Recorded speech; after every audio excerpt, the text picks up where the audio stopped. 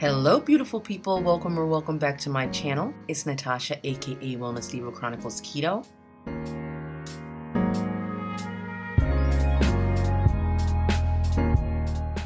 And I'm back with another recipe. You guys have been loving these Carbquik recipes, so I'm here to give you what you want. So let's get into it. This biscuit recipe is super simple. You can have it done start to finish in about 30 minutes or so, and it's an awesome recipe to make with the kids. They'll love it.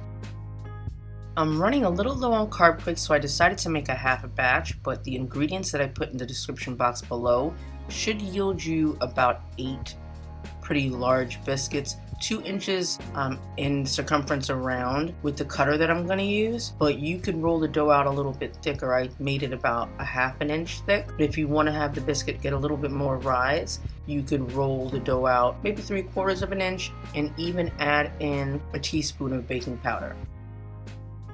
I also went ahead and added about a third of a teaspoon of sea salt into the dry mix. Once I gave the dry mix a brief stir, I then set aside the wet ingredients. So that will be one quarter cup heavy cream and also about an eighth of a cup of water. If you see that the mix is too dry, you can continue to add in the heavy cream one tablespoon at a time until you get the right consistency. I'll show you what I mean.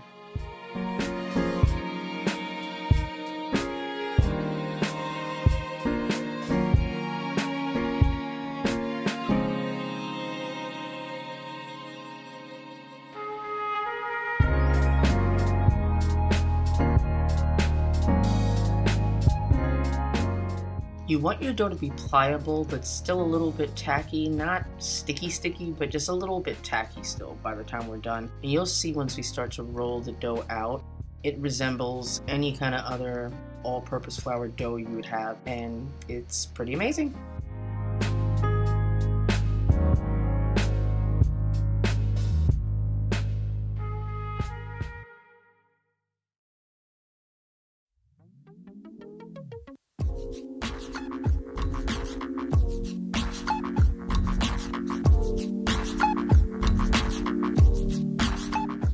I ended up adding about three additional tablespoons of heavy whipping cream to get it to the consistency that I liked.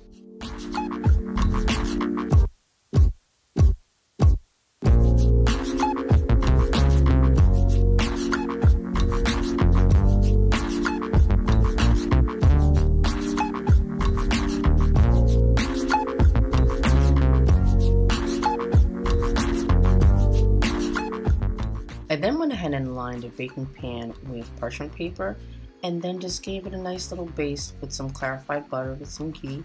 But you can use regular butter, you can use an oil that you have, you can use nonstick spray, use whatever you have. I then laid a separate piece of parchment paper down because this is what we're going to use to roll out the dough. Again, I did about half an inch high dough, but if you want the biscuits to be a bit higher in terms of their rise, you can make the dough a bit thicker and also possibly add baking powder. So it's up to you, you can experiment with that.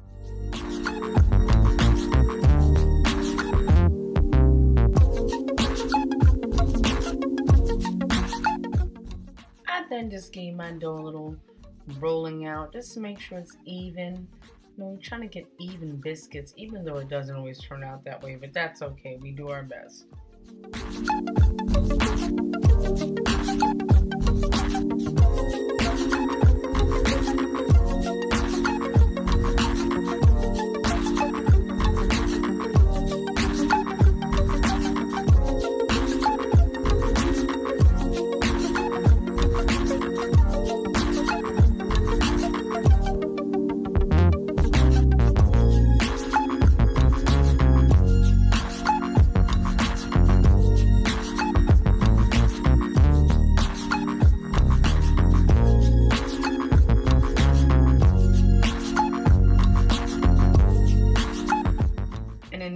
final biscuit, I didn't even use my cutting tool because it was not going to matter. I just made it look as best as I could, and that was just perfectly fine.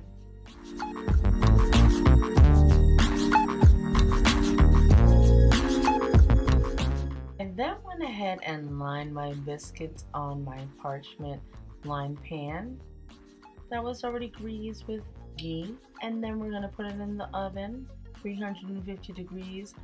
I'm careful with the temperature. I, my, my oven runs high. I did this for about 12, 13 minutes. Not like the box says.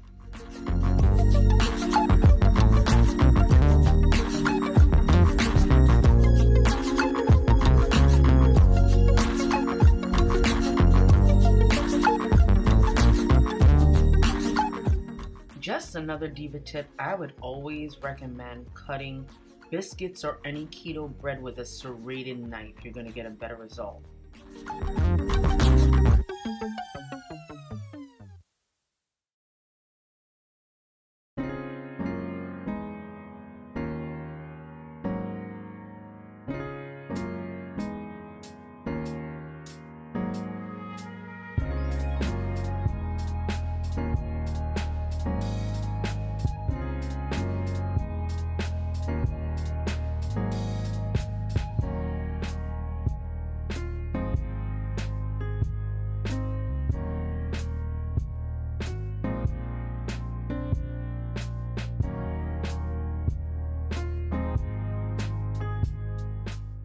Now you could stop right now and just have some delicious keto buttery biscuits with some tea or some coffee, but you know I have to be extra, so let's make a sandwich.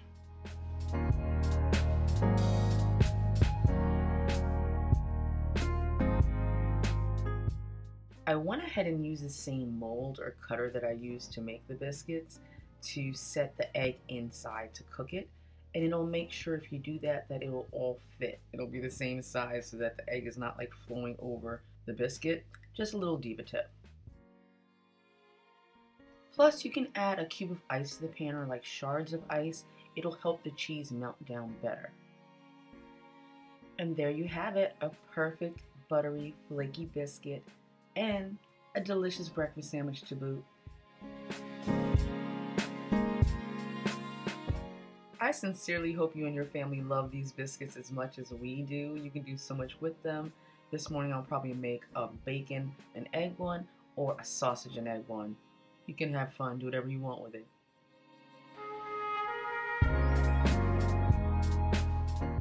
And of course, until the next time, all my divas and diva family, stay safe and be well.